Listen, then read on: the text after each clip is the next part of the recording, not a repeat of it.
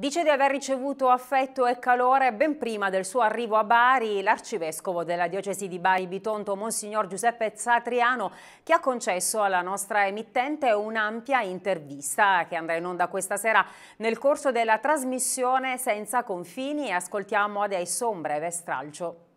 L'ingresso è stato un momento bello, ricco di gioia e di tanta vita, vita donata perché aver vissuto questo ingresso anche con il saluto a Monsignor Cacucci, secondo me è stato un momento ricco di testimonianza fraterna, di, di vita vissuta, perché è confluito in quel momento il vissuto di un percorso realizzato da Monsignor Cacucci e si è aperto un altro vissuto, quello in cui dovrò imparare a camminare con la gente di, di Bari Bitonto che eh, mi ha fatto giungere il suo affetto già da prima, eh, sin dall'inizio, dopo l'elezione. Io ho ritrovato eh, tanta accoglienza, tanta attesa, eh, tanto calore, tanto calore.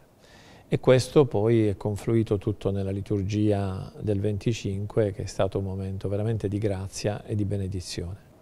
Prima di arrivare a Bari è stato arcivescovo di Rossano Cariati. Allora, eh, che cosa ha lasciato in quella terra e emergono delle prime differenze?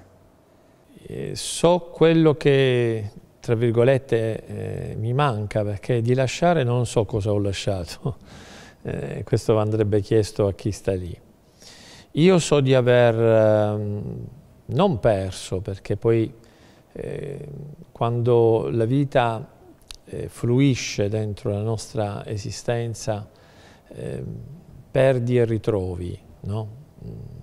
Eh, credo che la nostalgia non ci debba appartenere, in quanto eh, quello che forse io porto con me è una grande benedizione, quindi non ritengo di aver lasciato, di aver perso qualcosa.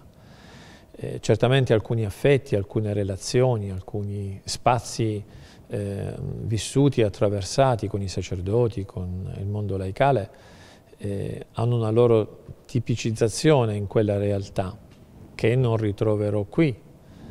Però ecco, io non sento di aver lasciato niente, sento di aver eh, incontrato attraverso la gente di Calabria una benedizione sulla mia vita che porto con me. Per cui io ringrazio il Signore di aver attraversato quella, questo spazio esistenziale di sei anni in Calabria, che non immaginavo sarebbe terminato così brevemente, e, e lo porto all'interno dell'esperienza che il Signore mi dà da vivere qui.